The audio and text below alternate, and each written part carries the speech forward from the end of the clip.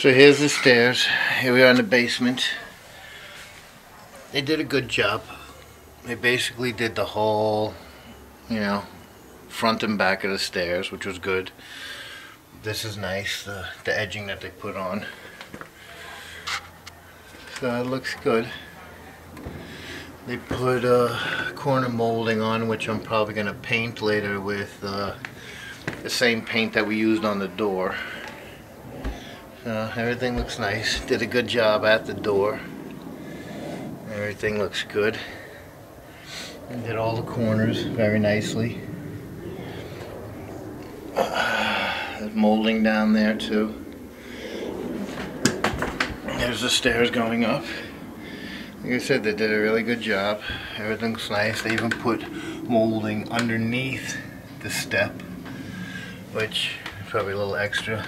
These I might paint or something because that wood there was covered with uh, vinyl. That's not in the best of shape. So I'll figure out what to do with that. I did all the cuts, brought the edging all the way over to there. Little corner pieces. So they really did a good job. A little bit higher, so they put a little transition piece here. Not too much higher at all.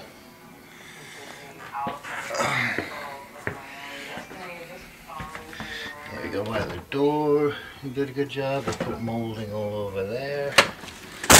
All over here. Kitchen looks good. They did molding over to there. Underneath there they put baseboard. It's a gray baseboard which looks nice. Uh, they didn't put it over by here, which is fine. Who knows how long that thing's gonna be in there. Put the light back on. Put the light back on. Oh, sorry. No problem. They moved the refrigerator. So they did underneath the refrigerator. Oh, I got it. Nothing. Here's the transition molding too. So they did a good job. Just something from the wall. What? I was talking to mom. So like I said, they did a good job. Everything looks nice. A couple of things I just gotta put back on, you know, a little bit better. No big deal. Like I said, these pieces I want to stain probably the same color as the door. Otherwise, looks pretty good. Did a good job. Alright. Talk to you soon. Love you.